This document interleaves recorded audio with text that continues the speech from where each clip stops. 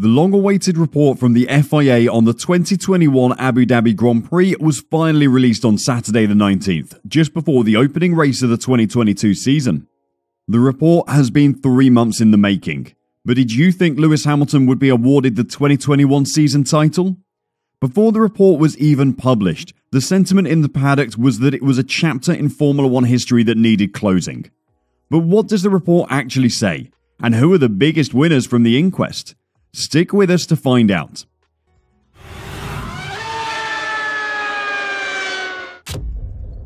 The FIA announced in the days after the controversial title decider between Max Verstappen and Lewis Hamilton that it would be launching a full investigation, which has taken place over the last three months. Following a meeting of the FIA World Motorsport Council on Saturday, the FIA released an executive summary of the report, detailing what happened in Abu Dhabi and offering recommendations. The executive summary report is not the full investigation, just the parts the FIA wanted to release to the world.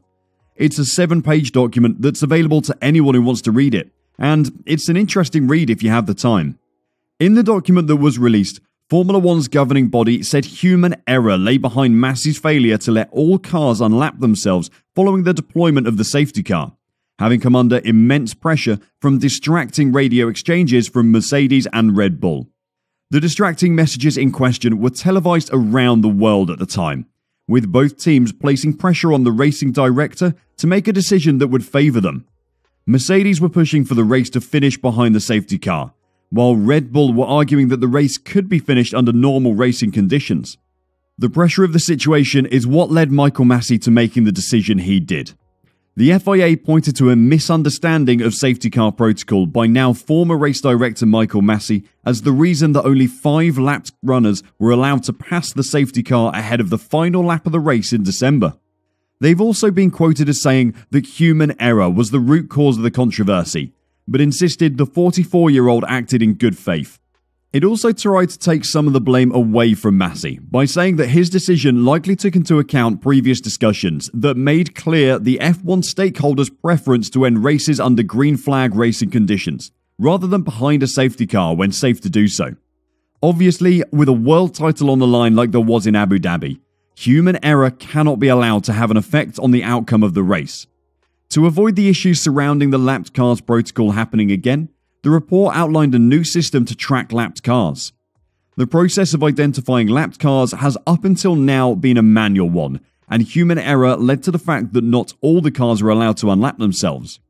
Due to the fact that manual interventions generally carry a higher risk of human error, software has been developed that will, from now on, automate the communication of the list of cars that must unlap themselves. In addition, the 2022 Formula One sporting regulations have been recently updated to clarify that all and not any cars must be permitted to unlap themselves. This is clearly a step in the right direction. With the technology available to sports now, the amount of manual human work done in regards to managing a race should be minimized, so as to avoid any grey areas or human error. If you watch cricket or football or tennis, you will already be aware of the impact that technology can have on the governance of the sport. Hopefully, by bringing more technology into the management of Formula One races, these mistakes can be avoided in the future.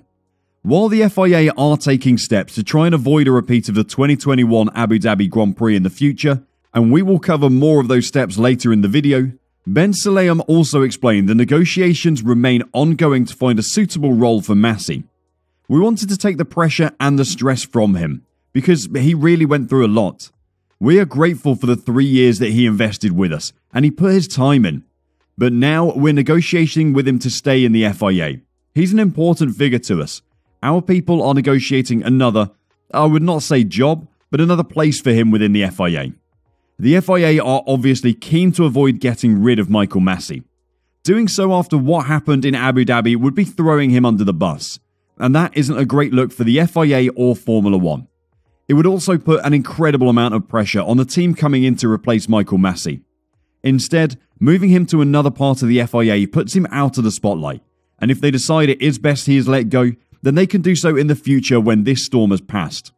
Before we talk about the changes to F1 rules that were outlined in the report, if you've enjoyed this video so far, make sure to leave a like and subscribe to keep up to date with all the latest news from F1 Reverse. Going back to what else the FIA is going to do to avoid this happening again in the future. They confirmed a number of measures that have been taken to avoid the same errors happening again.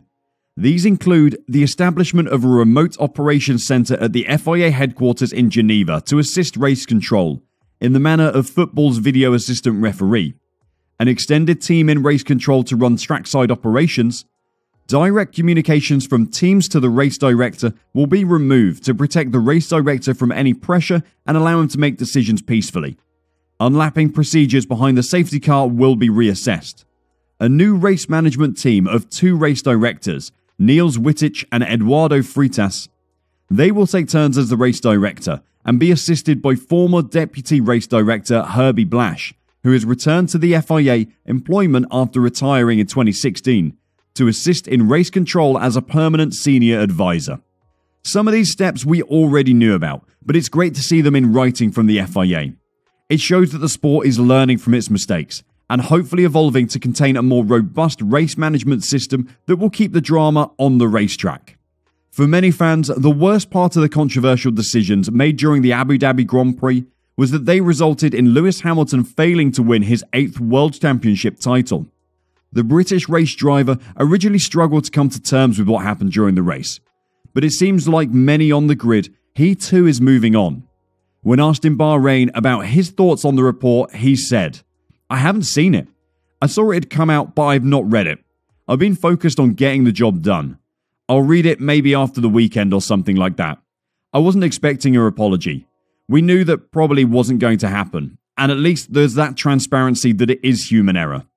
We can't go back and change the past. I look forward to focusing on the future and getting this car in the right window. We have a bit of work to do.